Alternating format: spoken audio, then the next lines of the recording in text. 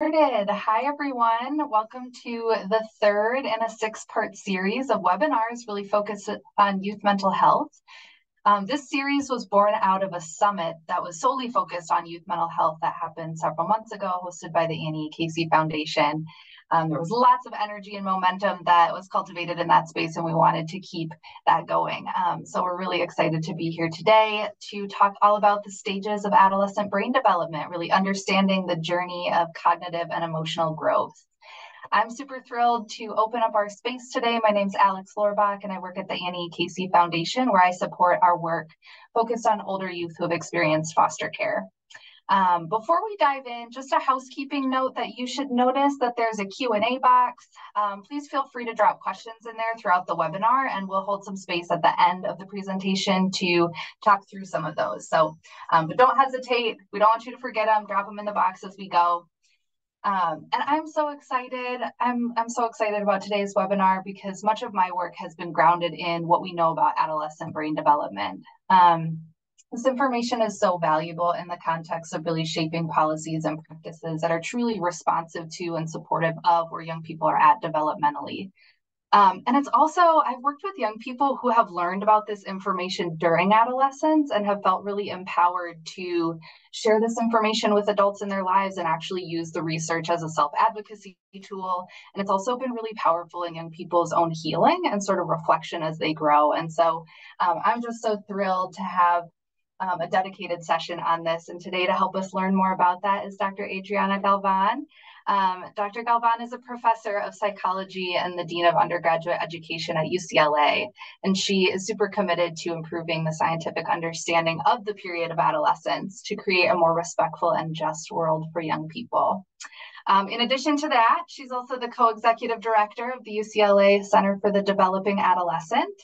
Um, and I'll just read a, a, little bit more info about her and then I'll, I'll hand the mic over to her. So she's a neuroscientist and her career has been focused on adolescent brain development and how it supports developmental milestones during the significant developmental window.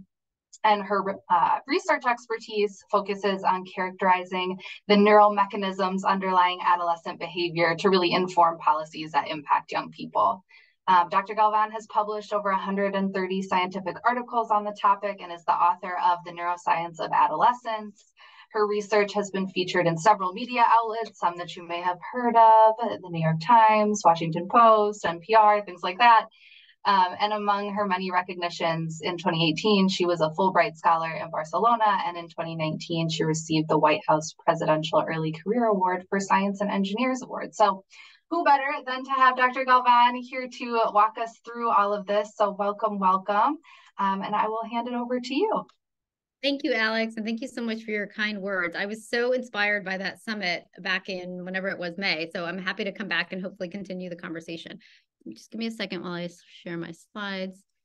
And okay. Wait, hold on, make sure that you guys see what I want you to see. Um, do this one.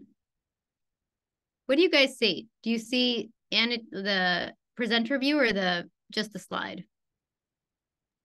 Just the slides. It looks good. Okay, great. Awesome.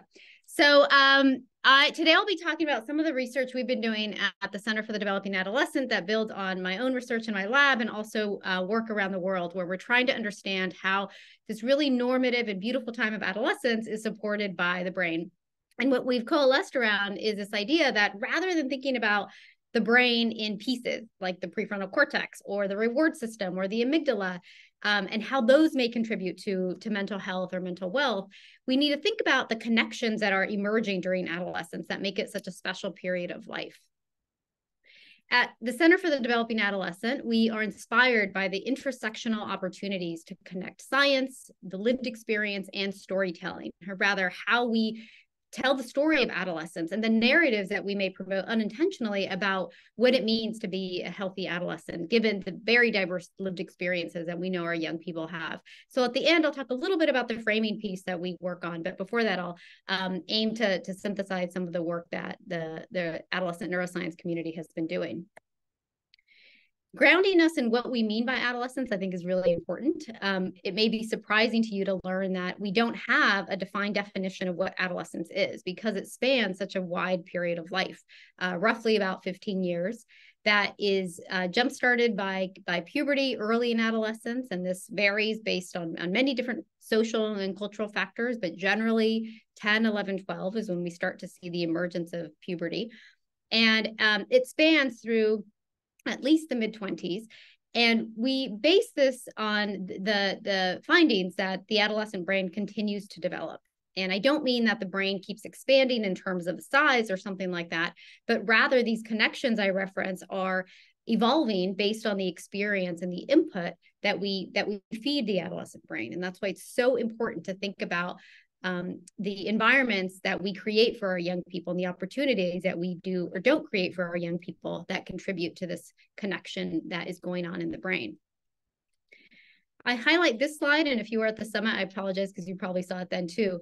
But it is um, a represent a representation of what I think is a really um, very characteristic time of during adolescence when there's just a lot of variability the all of these kids in this picture are in eighth grade and they're 14 years old but you may notice that some of them look a lot older than 14 and some look much younger than 14 and this is just to illustrate the point that what is going on biologically doesn't always align with what how we treat young people and how we um, the expectations or the assumptions we make about them. And this in particular varies by ethnicity or by um, socioeconomic status or stress. And that is just a reminder of the the very um, tight bond that biology has with context and and society to produce these individual differences.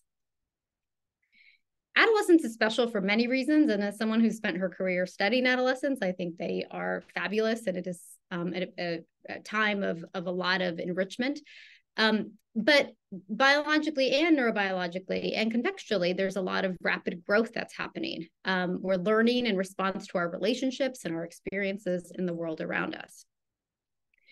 It's also a time where um, inve- whereby investments for young people, and here I mean, um, you know, financial investments, but also investments in terms of attention or the policies that we make that may or may not support young people, that these investments can pay off for them in their communities and help help realize the gains from earlier investments.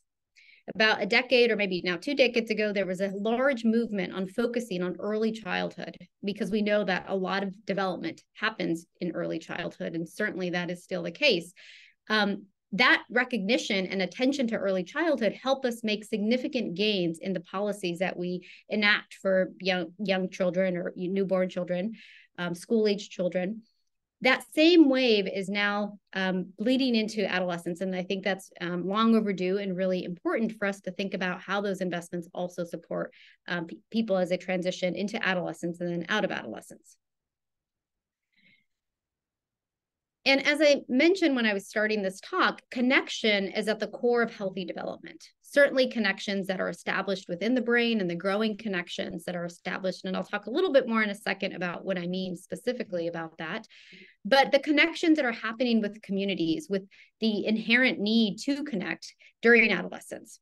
Often we we observe that peers become very important during this time. It's not to say that they weren't important before, but the way that we um, the attention that we place on peers in adolescence seems to grow and become amplified. And it's the connections with the self and identity exploration and development is at the is the hallmark of adolescent development. Adolescents have unique developmental needs, similar to how young kids, especially right after they're born, have unique needs and attributes that we instantly recognize, learning to walk and to talk and to bond with caregivers Adolescents too have developmental needs. Obviously, they're not the same ones that are established and foundational early in life, but um, they are also based on natural natural inclinations that adolescents have that help prepare them for the world ahead. These developmental needs include safe and satisfying ways to explore the world and to take healthy risks, adolescents do take more risks. That's empirically based. They take more risks than younger kids, they take more risks than older adults. But it's not just human adolescents who do this.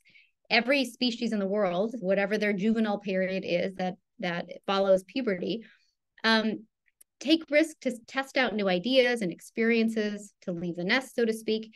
And creating ways for adolescents to do that is really important in our own species.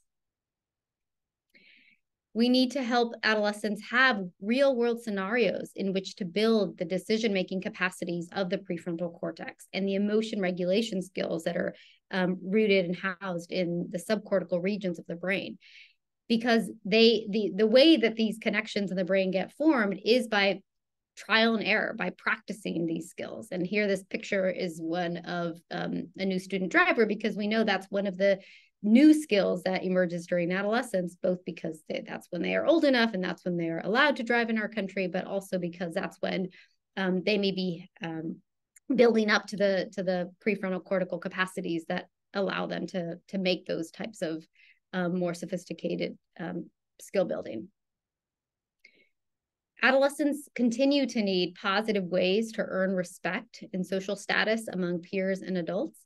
Sometimes the narrative is that adolescents only care about what their peers think or that they're really focused on their friends, and certainly those things are true.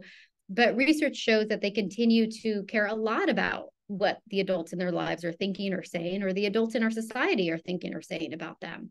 And regions involved in social brain development are really activated by um, by signs of respect or equally signs of disrespect. And we know that our young people are really good at picking up on that nuance.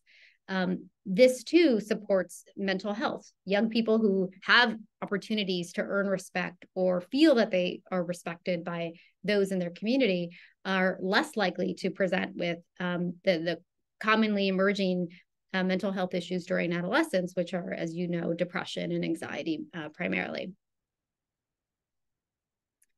Um, I already mentioned this a little bit, but not just respect, but warmth and support from parents and other caring adults. Um, here, I'm thinking a lot about the warmth and support that can come from mentors or folks who are not in the home um, who can supplement or, or substitute for, for the warmth and support they may not be getting in other spaces.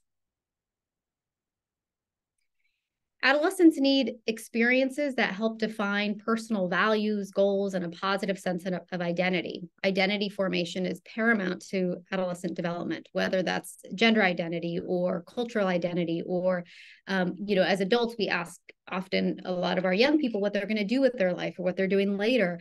And all of that feeds into developing um, a, a, sense of identity. And we can better support this moving into a positive direction rather than sometimes um, young people questioning their, their lived experience or identity. And finally, avenues to develop a sense of meaning and purpose that allows young people to contribute to their communities is really important there's a lot of research showing that when we contribute to others, when we feel like we matter, we have a sense of purpose, that is also um, a, a, way to mitigate any uh, mental health symptoms or or um, or feelings. Often, when young people or any people actually are experiencing an episode of anxiety or depression, one way that some clinicians suggest mitigating that is to go out and, and, and be with other people and, and, contribute to them. And so um, providing those opportunities is really important. So those are the development needs of adolescence. And I went through them quickly because I think they are um, hopefully intuitive, but also should be named so that when we are thinking of how to support them, we should lean on and leverage but they are naturally uh, gravitating towards. And the brain has a huge role in supporting these developmental needs and also supporting mental health. Um, we know from about two decades of research that adolescence is a distinct neurodevelopmental phase. And we may now take that for granted, but that knowledge was really built on many hundreds of studies using brain imaging um, and other biological metrics that showed us that adolescents are not simply many or many adults or overgrown kids, but that they are really um, undergoing a special period of, of, of, of development that only exists during adolescence. One way I like to think about it is um, an example from younger kids, kids who are don't yet walk, um, crawl for a little while, right? Most kids crawl between about six to nine months. It's a skill that we build up um, and kids only learn it through trial and error, but then they don't use it again. Obviously, all of us could probably crawl if we were asked to do it, but it's a skill that it only exists during that period of life or is used mostly during that life. It's the same with adolescent brain development. There's something very special about it. It's foundational, um, and it serves a unique purpose, and that is in in our view at, at the Center for the Developing Adolescent, it serves the purpose of helping adolescents connect. And so um, the the natural changes that happen are also in support of mental health. So when I say connectivity, I'm referring to um, the the literal connections that are happening during um, during this window of life. So this is a glass brain that is an image taken here at the Brain Mapping Center at UCLA. Obviously, in the in the real brain, they're not color coded. These fibers are not color coded. But what you can see is that the front of the brain is connected to the back of the brain, and these connections are established very early in life. But during adolescence, the the speed at which the neurons can actually communicate with neurons in a different part of the brain um, are are um, amplified or sped up and that that um, that increased connectivity among neurons helps helps adolescents make better decisions. It helps them respond to the world better. It helps the prefrontal cortex for example communicate with the amygdala in a situation that may be emotionally charged for example. And so this connectivity is super important and one of these unique attributes of the adolescent brain and is not um, uh, is not isolated uh, to just happening in the brain. Or in other words, it happens in the brain, but it happens because of all the inputs that we're feeding the brain um, that help those connections. So I'll give you an example. Um, if there is a, an individual who is experiencing a lot of stress in their lives or um, a lot of trauma in their lives, the connections that are established for them may take longer to develop than someone who's living in a very healthy environment. Um, and there are many examples of that based on a lot of research. But the main point here is that we can better support the refinement of brain connectivity during adolescence simply, not simply, but by providing particular environments. You may have also heard the term plasticity in brain development previously. Um, plasticity refers to the idea that our brain cells are formed and strengthened and are responsive to the environment and, and to our experiences. And plasticity undergoes, there's a lot of plasticity early in life to support those very basic developmental needs I mentioned before. But there's a second wave of plasticity during adolescence, when the brain reopens up how malleable it is to the to experience. And that is no coincidence. Nature doesn't make these kinds of, of you know random um, decisions. Rather it is in support of the new experiences that adolescents are are going to have and, and do have. And so during adolescence our brain cells are forming these these connections with each other um, and um, more rapidly than in any other period of life other than early childhood and some scientists say that this is the last great period of plasticity. It doesn't mean that later in life we can't learn new things, for example, but it does mean that we're better at learning them during adolescence or, or younger. Um, one common example that I think is some that resonates with with people is the the notion that we aren't able to learn languages as well later in life, or we will and we will have an accent because our neurons at that point are less plastic. Whereas in adolescence, we are better able to take on these, these new skills or to kind of redirect where our neurons form and, and what communication they have with other neurons. So this little image or this little video you're seeing here are brain cells literally reaching out to form connections with other brain cells. So this is just what's called one dendritic spine. It's that long branch that is reaching out to other um, to other branches near it that you can't see. Um, but that is happening in response to some particular you know experiment that this that this brain cell is undergoing by the way these are data from um, mouse models of adolescent brain development is not from humans in humans we do not have what's called the resolution to look at that granular granular level of of detail but we know that the same things are happening in the adolescent human brain based on, on fMRI studies. Here's a cartoon image of that same idea. So what you're seeing here on the right are um, uh, dendritic spines on day one and then day two after there's been some kind of experimental intervention. And what you'll see is that there are places where there um, the the branch is losing connections with other neurons, and um, some places where it's gaining connections with other neurons. And so it's not bad to lose connections, but when be and that happens in order for other connections to be strengthened. And at the microscopic level, our brain cells are literally reaching out to new information. And I, I, I think this is so fascinating because this is how um, our brain keeps developing during adolescence based on experience. Um, and as I mentioned before, it means that these um, neurons are forming connections with other neurons. Just to give you an illustration of how important this is during adolescence, around the time of puberty, our neurons can gain and lose about 25% of our connections each week. And this drops to 10% of connections by the time we reach adulthood. So that means that there's a rapid proliferation and, and pruning that happens during um, puberty, but then this wanes into adulthood. And that makes a lot of sense because it wouldn't be um, it wouldn't be beneficial for our brains to keep changing so much as adults. We wouldn't ever stabilize on either a particular skill or particular identity, or I don't know, we're all constantly, I guess, changing, but it would be harder to hone in on stability if our neurons were constantly changing into adulthood. But during adolescence, it is an attribute. It is beneficial for us to be um, changing in response to the environment. So um, you know, I'm going to come back to this in a little bit after I make another point about um, connect, another point about some of the research we know.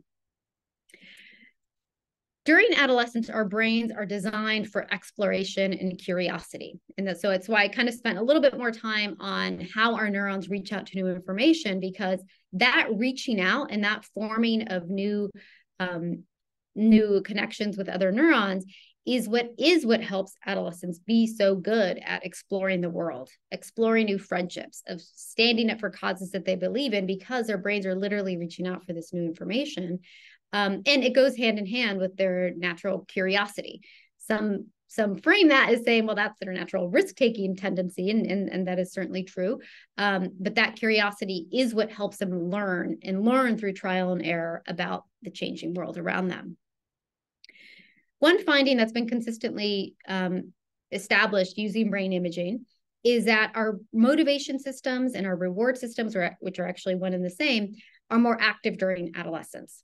What you're seeing here on the right is a brain image of um, that that is a summary of a lot of different studies showing the part of the brain that lights up when the person who's in getting the MRI scan is seeing something that they find rewarding.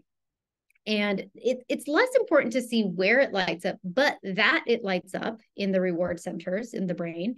And then also that there is a distinction between how much activation there is in the adolescent brain as compared to the younger brain and the older brain.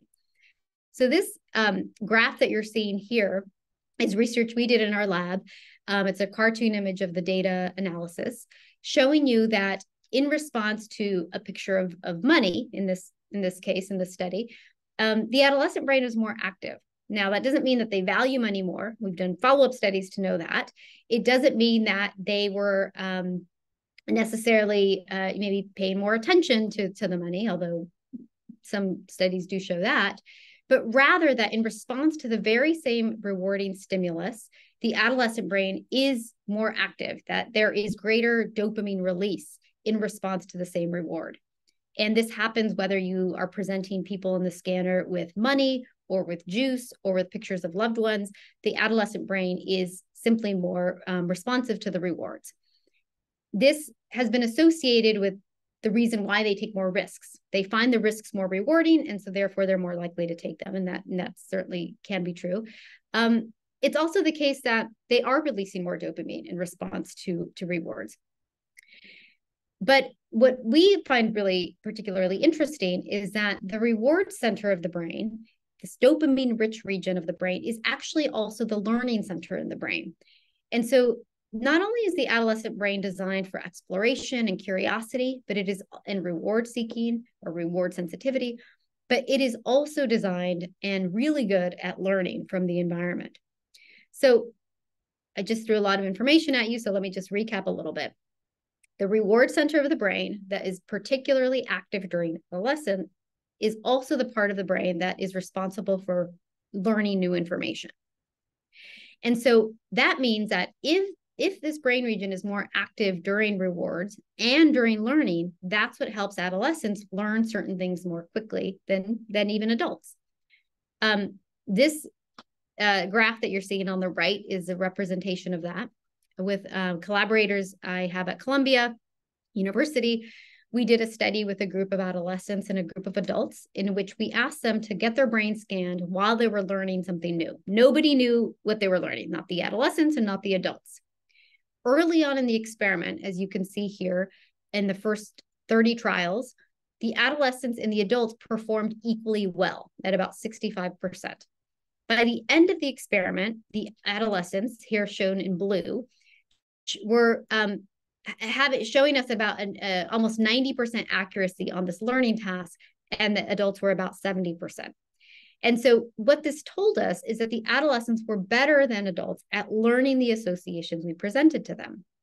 Our hypothesis was that it was because their reward center, remember, which is also their learning center, was more active during the experiment. And that's exactly what we found. That um, in this image, you can see on the bottom, a comparison of how much activation there was in this dopamine rich region called the striatum in adolescents on the left and adults on the right. And you can see that the adolescents visually, you can see, had greater activation. And we quantified it and made sure that this wasn't, wasn't a spurious result. Um, but the learning system in the striatum was greater and, and, and more engaged in the adolescent group. Then also, um, we found the same uh, pattern of difference of activation in the hippocampus, which you may know from from your um, from your awareness of what the learning centers in the brain are. Um, the hippocampus is the primary learning center; it's a primary memory center, and so both learning systems in our experiment showed that adolescents showed greater activation in these regions, and that it was associated with learning. So why am I talking about learning so much? I'm talking about learning because one of the key attributes of adolescence is everything I've said about puberty and about connection and all those things. But it's about learning a new social landscape. We learn we're in new spaces in in school. We are forming new relationships with our with our parents, with our caregivers. We are forming new relationships with new people. We're learning about new new activities. So I don't just mean learning in the classroom, although that's really important too but just learning about the social world, learning how to be an adolescent and transition into it and transition into adulthood. All of this requires that our brains are picking up new information and building new skills. And so, if the brain is primed to do this at a really rapid, efficient way, then we should celebrate that and we should leverage that type of learning capacity among young people. Um, I talked a little bit earlier about the social brain and why we care so much about earning respect and connecting with others and feeling uh, understood. And this happens because of the changes that are happening in these brain regions here. I won't go through them because, again, labeling different brain regions is actually not as important as understanding that the un- undergo changes. Um, but I'll just put this up in case anyone's interested, and, and I can, of course, share my slides. Um, so we know that connection is at the core of healthy development, is in the ways that I've discussed before. But one thing I haven't talked about that I think is really important for a discussion on mental health is the importance of supporting mental health through connections and um, and sleep. A lot of our connections in the brain happen while we are asleep actually so in the same way that we know that young young babies grow physically a lot um, when they're sleeping and we know that sleep is restorative for our brain, um, it also is directly related to how well our brains are connecting and, and building up those, those connections. And the reason it matters for adolescents is the National Sleep Foundation has named sleep as a basic need that suffers during adolescence. We've all heard the recommendations that we should get about eight hours of sleep. Our young people, not just in this country, but around the world, um, have successfully gotten less sleep across generations. And there are many reasons for this. I'm sure some of them you immediately come to mind that I'll talk about in a second. But, the, but I want to just underscore that it's a basic need in the same way that we need food and water, we need sleep. We, we know that we sleep about 30% of our lives, and it's no coincidence that we do that. And we know that sleep is related to a host of things like learning, uh, mental health, um, you know, skill building, all of the all of the things we know happen during adolescence. This happens for a very variety of reasons. Um, the last bullet is probably one that you were thinking of that kids use more technology before bed, and that may interrupt and disrupt their their sleep, and that is certainly true. But there are also some biological reasons why sleep suffers more during adolescence than in any other time in life. Um, one is that circadian, there are what are called circadian sleep delays related to puberty.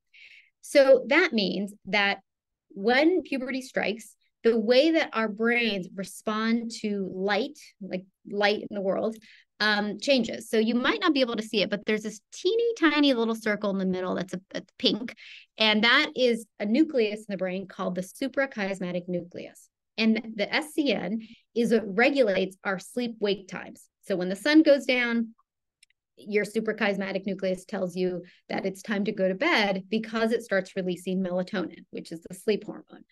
Well, this not so during adolescence. During adolescence, when the sun goes down, melatonin does not start getting released until about two hours after it happens in adults. And so that means that that sleepiness hormone is actually delayed during adolescence. And so that's one reason that they sleep, um, that they're not as sleepy at the same bedtime as adults are. Another reason is that these circadian sleep delays make it so that adolescents actually are more active at night than adults. So there's a lot of research on, um, again, in humans and in other animals showing activity levels.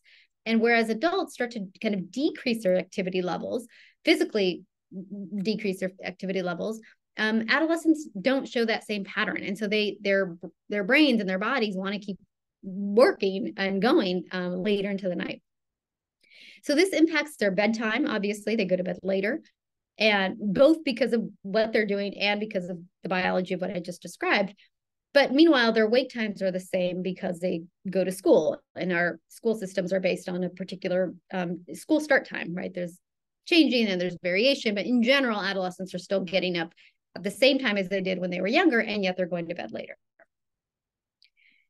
Why does this matter? Um, I already mentioned all of the things sleep is associated with, including general health, mental health, well being. Um, it supports our ability to emotionally regulate. This certainly isn't just true in adults. We all know that when, when we're not sleeping well, we may be just more emotionally reactive to things that don't bother us so much when we have gotten a good night's sleep. Um, and for a group of people who are still developing in their emotional reactivity and regulation systems in the brain, this impaired sleep is going to impact them more in terms of their ability to compensate for for um, and make up for that lack of sleep in their emotion regulation. Um, strong links to reckless driving. And I only bring it up because of what I mentioned earlier that driving is one of those very new skills that emerge during adolescence. Um, and if they're not getting enough sleep, clearly it's going to be impacting the skill that they're not they're not yet um, as, as as skilled at as adults. I won't unfortunately have time to talk so much about the implications for policy, but um, there are a lot of interesting conversations about how sleep intersects with school start times. And then also my personal interest in, in collaboration with a colleague in Texas is on how um, sleep is compromised in young people who don't have a stable sleep setting, either because they are um, moving between homes or because they have their um, housing insecurity circumstance makes it so that they don't have a, a stable place to sleep or they are in juvenile detention. All of these spaces do not make for um, stability and sleep. And that is actually the number one way to get good sleep is to have stability both in place and in time and environment um, when you sleep. I know that because we've done some research that was generously funded by the William T. Grant Foundation that um, to examine the link between sleep and sleep variation and and uh, connections in the brain that that are forming that I mentioned earlier in the talk. And so what we did is we went into um, homes all over Los Angeles that varied on socioeconomic status, on neighborhood, on, on many different factors. And what we collected while we were in these homes of these young people and their families was um, their their sleep environment, the temperature in the room, the light in the room, how many sleeping partners they had, how much technology used before bed. And so we did all this in-house assessment, and then we came back to the laboratory. And a few weeks later, they came with us and they um, got a brain scan, and we just measured whether there was a correlation between all of these factors and their and their brain connections. And what we found, as you can see on this image here, whatever comes up, is that um, is that those who got worse sleep, which you're seeing on the x-axis and here labeled as sleep disruption. Oh, and by the way, we collected um, sleep data using an actigraph watch that tells us not just how long they were in bed, but how much movement they had, how many times they woke up during the night, that kind of thing. And those who had worse sleep, that is more sleep disruptions, showed less or diminished connectivity among the brain regions we know typically are um, showing a lot of brain connectivity. The opposite was true of those who had minimal sleep disruption. So those adolescents who either um, slept a, a, a, lot or you know around seven to eight hours a night who had a consistent sleep schedule that is they went to bed roughly at about the same time and woke up roughly at about the same time those with the minimal sleep disruption had better connectivity that is that the brain regions that are starting to make those those connections with other brain regions showed a healthier pattern of development um, and and that was after excluding a lot of different other factors that may have contributed to the to the kind of connectivity in the brain, such as IQ and things like that. We dug in a little bit to the data about what was causing the sleep disruption. We initially thought it was that those who had worse sleep were the adolescents who were um, using more technology before bed. That's not what we found. And it's not to say that technology doesn't matter, but in our study, probably all the students or all the kids or all the adolescents um, already had a high level of, of technology use. And so there wasn't enough variation to capture that, that nuance. Um, perhaps it was the light in the room or the noise level in the neighborhood. neither of those actually related to sleep disruption either. What surprised us is that the relation to sleep disruption was actually accounted for by, by the comfort the adolescents reported having in terms of their bedding, their mattress, and their pillows. And so what we found is that young people who reported having more comfortable sleep environment um, it, by having a comfortable pillow were the ones who had least sleep disruption. And this was agnostic to socioeconomic status, to neighborhood, to all the other factors that I mentioned. Um, and I like to highlight this finding because we often try to think about policies that would support better sleep. And, and our preliminary data on this suggests that if we found a way to get young people a good pillow, whether or not they had higher or lower resources, um, this may help um, improve brain connect- connectivity and then subsequently all the other factors that are associated with, with good sleep. All right, so um, so given this information, how can we support the adolescent adolescents and the connecting adolescent brain? And so we've thought long and hard about it at CDA, and they're pretty simple suggestions I'm about to have, but I, I'll, I'll list them anyway. One is to invest in adolescence and research on the adolescent experience it's growing in terms of how much we um, support young people through through these kinds of investments in attention and resources and financially. And certainly um, foundations such as the annie e. Casey foundation support this kind of work that is so crucial but also investing in adolescents at the federal level. Um, we did recently a policy scan or a, a, scan of of the state of adolescence and and um, how much attention adolescence gets in this country. And we were surprised to see that, um, you know, for example, there are no adolescent, there's no caucus in government that focuses on adolescence. There's a caucus on mental health. There's a caucus on young kids. There's a caucus on older people.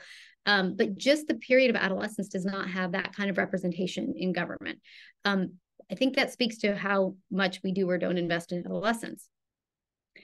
In 2018, there was a series of articles published in the journal Nature and I was really taken by this editorial, of which I've taken a snippet to, to highlight the point. And they said that a modern healthcare system without a focus on the unique challenges of pediatrics or geriatrics would be unthinkable. Yet there is no similar effort on behalf of adolescents. I find that striking because adolescents constitute the most growing number of people. They constitute about 25% of, of this world globally. So, um, so we need to do better in terms of investment. Using science to identify ideal points of intervention, prevention, redirection is something that we're still working on. So I'm often asked, well, when is the best time to, um, you know, intervene with with a young person who's struggling with, let's say, depression? we don't know that yet. We don't know what the best time uh, is. Is it 14? Is it 16? Is there a number associated with it? Is it a capacity? Um, and so we can do a better job at supporting adolescents by by using what we know about plasticity to um, to invest our limited dollars in a particular way.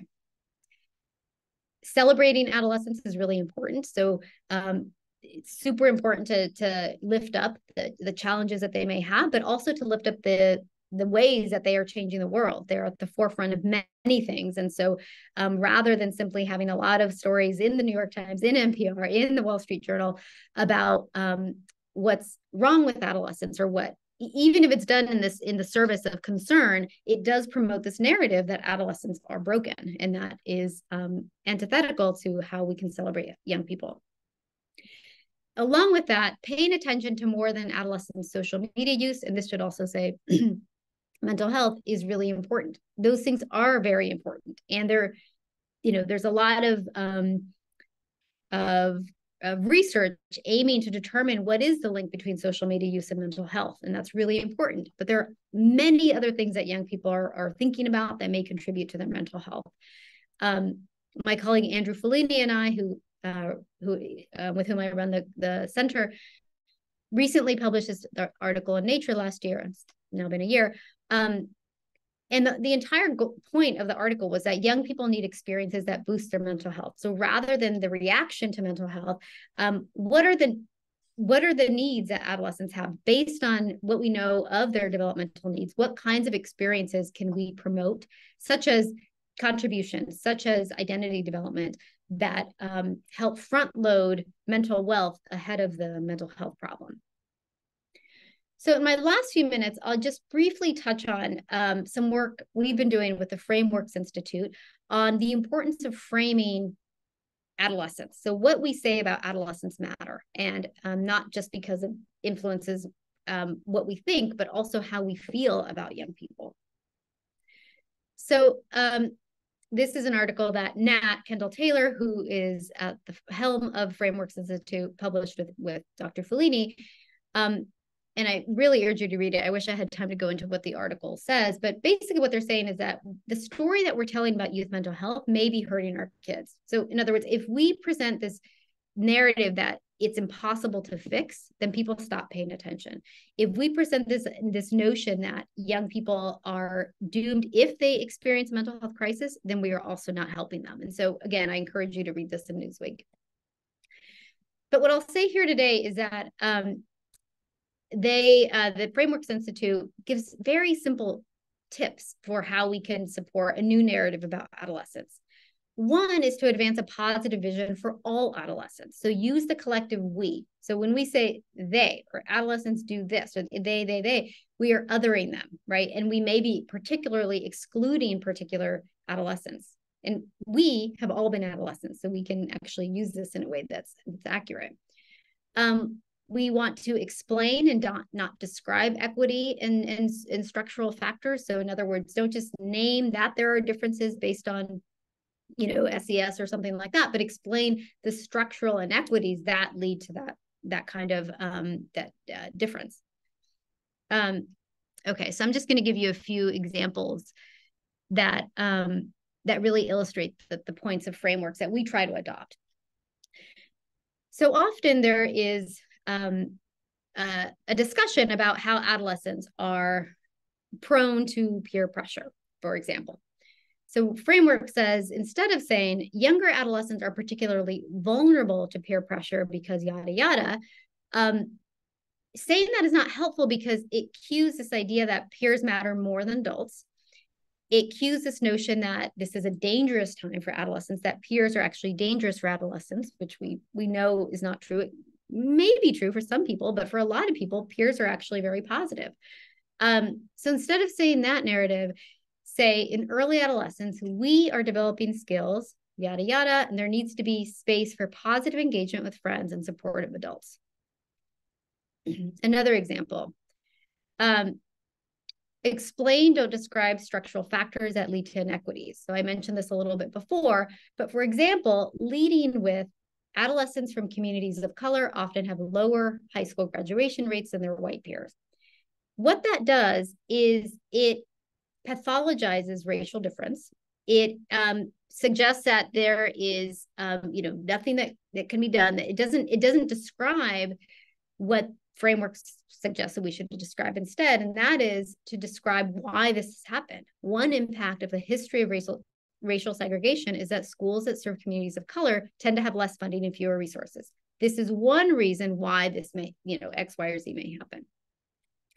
And then just um, one last example. Um, start with social emotional development and identity formation. So when you're describing the changes that happen in the adolescent brain, um, rather than cueing a black box or a dangerous time or that biology takes over and we have we have no, nothing that we can do as a society um, say things like the changes that occur between puberty and the mid 20s create a period of intense learning about who we are and who we want to be. And again cueing this idea of learning um, which is oriented towards the future. Okay, so I'm gonna, um, okay, th th this really is the last one that um, when we when we frame adolescence as a time when we learn by trial and error, um, when we frame it as a time when we begin to explore the world, that then what we're doing is reminding us that that adolescence is a laboratory of social learning and that we can scaffold that learning by providing particular um, resources or opportunities. So I'll just close by saying that um, we work closely with the National Scientific Council on Adolescence and we produce council reports. Um, this was uh, one we did last year. It was our first one on the intersection of adolescent development and anti-Black racism. Um, it describes how um, anti-Black racism, it, it, the particular ways that anti-Black racism impacts young people, um, both by uh, the structural factors and interpersonal factors. And it provides four key social contexts of adolescence whereby we may help um, young people in this space through peers, families, schools, and community. And again, I won't have time to go through that council report, but I highlight it here and hopefully you'll you'll find it um, on our website. Um, our next uh, council report coming out of CDA and the National Scientific Council will be on cultivating purpose. Um, this morning we met about the one we will be producing about puberty and how puberty is not just biologically based, but it is hand in hand and intersects deeply with um, with society and, and community. Um, and then finally, we'll have one on mental health. We'll do a brief series on um, one that supports uh, or provides information for middle school educators and others for um, uh, for for people who work with adolescents at different stages. And so with that, I will close so I have some time to answer some questions, but here are some um, ways to get in touch with us. And I really appreciate this opportunity to speak with you and look forward to um, connecting further. Thank you. Awesome. Thank you so much. Um, this is all so fascinating. And I feel like every time I engage with this research, I go one level deeper in my thinking, right? Like, really from understanding what's happening during adolescence, implications on policy and practice, and also really thinking about, yeah, how we can reshape this narrative about adolescence to one that is really grounded in growth and possibility and hope and opportunity and all of these things that are actually really powerful, right? Because to your point, how we view young people and adolescents profoundly shapes the way we structure society um, in yeah, a way that exactly. supports and, and it's a tricky line to walk because we certainly don't want to minimize the very real challenges that many young people face. Um, but how can we just, in general, start at a baseline that is positive and then move from there rather than the other way around, right? Rather than saying, well, what what what is good about them? Just uh, making that assumption that there's a lot of greatness there. Yes, yes, yeah, yeah. And knowing that right nothing about humans is black and white um, i think right. i mentioned this mm-hmm. on the last the last webinar but like we exist in this blue and gray right but i yes i think mm-hmm. grounding in a new a new bear a new baseline narrative is, is really exactly. powerful and for young kids we really accept the fact that they learn through trial and error. Like i said with the crawling and the walking we don't you know a, a, one year old who's learning to walk falls about 100 times a day. We don't say well that was stupid. You know we don't we know that this is the only way that they're going to learn and there are some some similar principles in adolescence. Yes yes. No i love that. I love that um, and I know folks are grappling with that too, people who are listening. So if people have questions, go ahead and drop them in the chat or in the Q&A box um, and I'll read yeah. them. And of course, we'll share the recording um, and the resources mentioned. Um, yeah, there's a few questions about um, slides. Yes, I'm happy to share my slides. So maybe who should I send them to? To you, Alex? Or yeah, sure. we can figure it out. Yeah, yeah I'm we'll happy figure to... it out and we'll, we'll yeah. get them out to people. Yep, absolutely. Um, I see another question in here. Um, curious, so what do we know, um, or is there anything to share about the impact or influence of marijuana on brain function and or overall brain development? Yeah. I know this is a hot topic. It's such a hot topic and it's such an important question because I didn't have time to show some trends about how adolescence itself is changing across successive generations. And one way it's changing is that there's a much less use of alcohol, which is what you know was prevalent in 70s, 80s, and 90s, and now it's marijuana for obvious reasons, right? Marijuana laws have changed, et cetera. Um, the jury's still out. There are some studies on it, but the Adolescent Brain and Cognitive Development Study, the ABCD study, funded by the NIH, it's the largest study to date in the world of adolescents, and it includes 10,000 adolescents who were enrolled um, at age 10 and we'll follow them through age 20. There are sites 23 sites all over the country. Anyway, that's going to tell us the most that we have because it was intended and designed to address that very question of how is marijuana um, impacting brain development. For now, we know that one that it does, and so that is actually an important thing to name because you know the, similar to a lot of things the narrative that we've heard for so long creeps into our assumptions and the narrative that marijuana is not harmful is untrue and in particular um, in regions that you would suspect. So the learning regions, the memory regions, those impact, um, marijuana impacts those brain regions the most. Thank you. Thanks for sharing that and for um, sharing the citing that source so folks um, can look into that as well. Um, another question about existing studies um, or sort of what we know, is there anything um, out there that you would point to or any insights that you might share that focuses on what happens um, regarding brain development during adolescence for adolescents who experience trauma during adolescence and really looking at resilience um, or sort of different facets of what those experiences might be. Yes, thank you for this really great question. There is fantastic, um, really sophisticated work on this question because we, we know that uh, these people in particular need our support. So I will point you to um, to a few scholars who do this research. It's um, Nim Tottenham, she's at Columbia. Um, uh, Margaret Sheridan, she is at UNC. Uh, Dylan Gee is at Yale. And um, Katie McLaughlin is at Harvard. And all of those scholars have exactly studied this question. And what they do find is, just to answer the question briefly, um, is certainly that the type of trauma matters, the duration of the trauma matters. So, as with anything, removing the the child from a traumatic experience the earlier the better um, because that you know it's kind of a dose dependent effect. So the longer it goes the more trauma in particular brain regions. Um, but when i mentioned in my talk that adolescence is and the plasticity during adolescence is so important for redirection that's kind of what i was referring to implicitly is that any previous trauma that was experienced um, there's hope that because of the plasticity of the brain that we can help um, re reestablish healthy pathways in in these regions that are impacted yeah, thanks for offering that. I I sort of think about like the neuro magic that exists in adolescence. Um, oh, I love that term. That's so great. Thank you. I don't know if uh, if I borrowed that from somewhere unconsciously, but that's always like in my head when we think about mm-hmm. healing and growth and just like really truly the possibility that that does exist in that space. So thank you for yeah. speaking to that. Um, another question that I'm seeing, so you really talked about how adolescents, um, uh, you know, making connections and being um, having meaningful relationships and growing your social network and all of that is really really impactful on development. Um, is there any research on how the covid-19 pandemic and social isolation has impacted adolescent brain development? Yes. So scientists quickly mobilized, mobilized during covid to address this question. And to be honest with you I, i'm not as familiar with the with the work on the findings on that. They're still coming out as you can imagine. Um, one finding that was particularly interesting is that yes, the isolation and the loneliness piece is so um, impactful for young people who, as I just described, for an hour they need connection, and so during this time they they didn't get it. What's interesting is that there was an uptick in depressive symptoms, um, probably because of the isolation, but there was some data suggests a decrease in um, symptoms of anxiety, and so it's really interesting to think about those who were anxious or probably anxious because they were interacting with social things or things that made them uncomfortable. Um, and they didn't do that during COVID, so that was going to minimize that. But certainly, it related to um, depression. Thanks for speaking to that, and I'm sure we'll learn lots to come as as time goes on on that.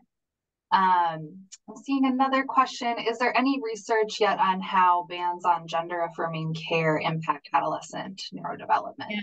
So important. Thank you for asking that no i don't know the i don't know how um the res- there aren't studies yet on how it impacts adolescent neurodevelopment but as i mentioned i was meeting with the um, council this morning and we were talking about our next council report on puberty and this is certainly a topic that needs to be front and center because it's so under described from from that neuro perspective and that um, pubertal perspective. So no and, and sadly but um, certainly folks are, are working on that important question yeah, a good question to like keep asking too, mm-hmm. right? Exactly. Keep asking. Yeah.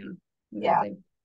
Yeah. Yeah. Um, one question that uh, had come up um, so you mentioned a lot about the power of rewards and mm-hmm. thinking about these heightened levels of dopamine. Um, and sometimes um, I know I've found myself in conversations where people raise questions about this idea of reward and maybe how we think about rewards.